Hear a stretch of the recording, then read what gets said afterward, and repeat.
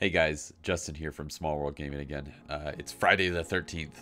Uh, I don't know why that's important or why I felt the need to say that, but that's what today is. So, uh, has nothing to do with our video today, though. We're uh, I just wanted to talk about Kill Team a little bit more.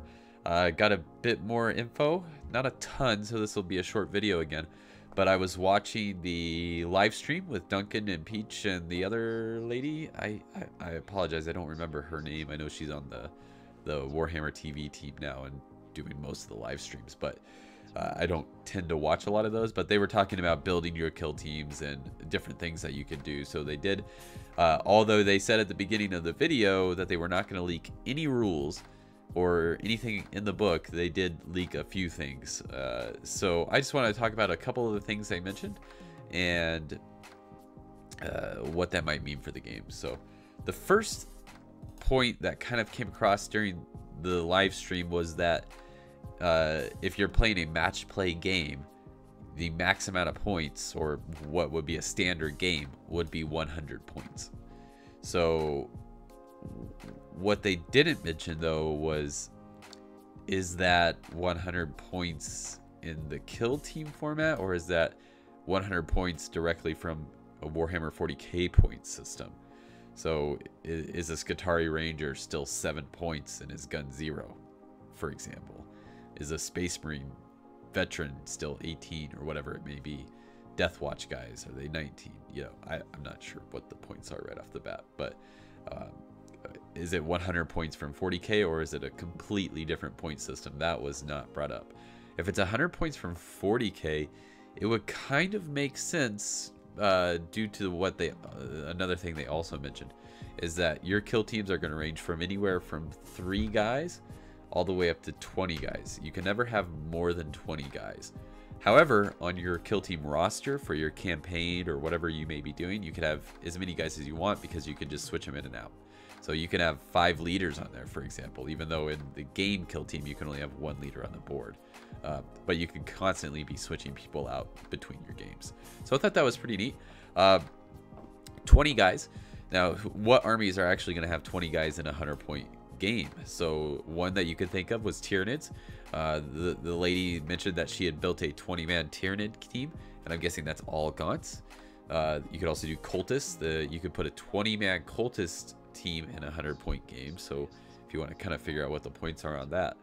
Uh, but another guy, uh, Duncan, said he was also making a Death Watch kill team and that his kill team was five Death Watch veterans and that he could, with the points, depending on what weapons he gave him, put in a sixth guy uh, in his Death Watch kill team and be at 100 points.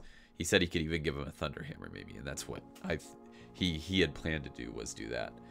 Uh, so uh, definitely some interesting information. Uh, 100 points is a normal match play game. 20 20 uh, models is the max. And, and to me, 20 seems like a lot for Kill Team. Uh, I, I could be wrong here, but they're not playing it on a 4x4, uh, 4 foot by 4 foot board or table. They're only playing it on a 22 by 30, so that's uh, less than 2 feet by a little bit more than 2 feet that's not a lot of space for let's say both you me and you each have a 20 man kill team um, and it's alternating activations guy per guy per guy. Like that's not a lot of space and i feel like it would take a long time to play with 20 models in that in that kind of format but who knows? Um, tonight i think i'm going to be working on uh, getting some of my kill teams ready so uh, the two that I'm going to be starting our videos with, we're going to be uh, recording videos hopefully before the games comes out so that uh, we can have those ready once the game launches and I can post those here on YouTube. Uh, I do believe my store is getting a, an early copy of the game, so I should have the rulebook and everything. But uh, I'm going to be working on my Carcharodons, so Space Marines. Now, I am keeping it a little bit fluffy, so there will be no Primaris Marines. I know you can bring Intercessors and Reivers in a Space Marine kill team, but it is just going to be Scouts and uh, Tac Squad guys uh, with heavy weapons and things like that. And then uh, my Skitarii Rangers and Vanguard. Now, they said you can use Rust Stalkers and Infiltrators. Um, I don't know if I really want to. I own both of them. I own both of those boxes, and they are built. So uh, we'll see what we'll see what it looks like when the uh, the book comes out, and we can see all the points and, and how all those guys play. But uh, I'm going to be working on putting together a bunch of Vanguard heavy weapon guys because I have all those bits and I haven't used them. Uh, and I already have like 30 Rangers that are built and painted, so uh, I think those will be ready to go. But I don't have any Vanguard. I converted them all from Vanguard to Rangers, so I got to convert a few back. I've got to put some heavy weapons on some guys, so I'll be cutting up some things for sure tonight. Uh, I might get a game of 40k. I, I, don't know, but I was kind of excited to get these kill teams going.